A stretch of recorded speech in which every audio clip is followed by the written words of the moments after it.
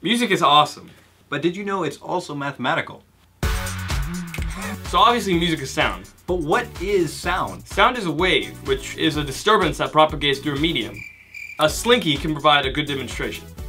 A push on one coil creates a push on the next and the next until it reaches the end of the slinky. A series of pushes and pulls results in sections of the slinky that are compressed, called compressions, and sections that are spread out, called rarefactions. It's the same way with sound traveling through the air. A push or pull on one molecule results in a push or pull on the next, and so on. Side note, sound doesn't have to go through the air. It actually travels faster through solids. You're usually hearing it through the air, but as long as there's a medium for the travel through, sound will continue to exist. That's why you can hear through walls.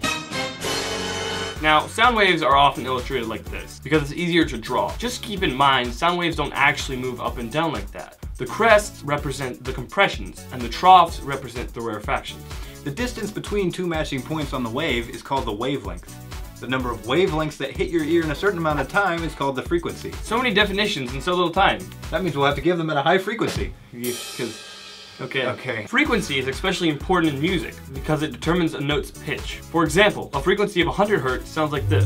As we increase the frequency, the note gets higher. Side note, hertz are the unit of frequency. It just means per second. With sound, the frequency in hertz is the number of wavelengths that hit your ear in a second. It's not a measure of how painful a sound is, although if there's a lot of hertz, there might be a lot of hertz.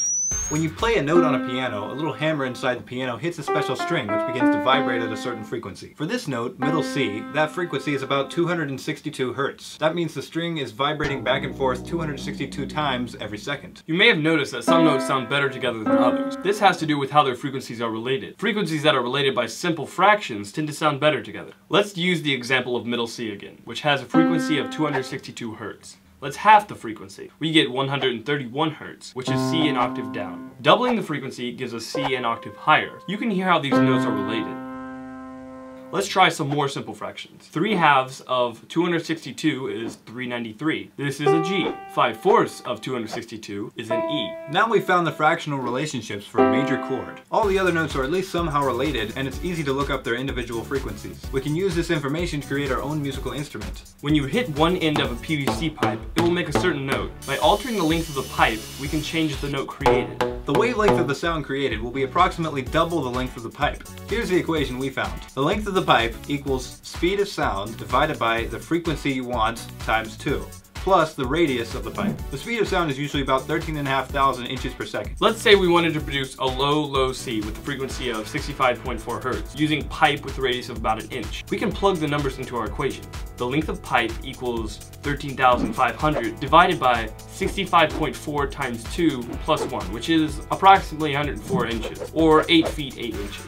So we need a PVC pipe with a length of approximately 8 feet and 8 inches to produce this low, low C. We can repeat this process for any note we want. Now we can play just about anything. Actually, because of copyright law, we probably can't play most things. Oh. Instead of cutting several different pipes to different lengths, we decided to make one with an adjustable length. But there's one major weakness to that design. You can only play one note at once, and it takes time to switch between notes. With a lot of practice, I'm sure we can eliminate most of that time, though. But there's one thing that beats practice. That's right editing. You might think of math as just a bunch of numbers and equations, but these numbers and equations can be used to describe and understand almost anything, including music.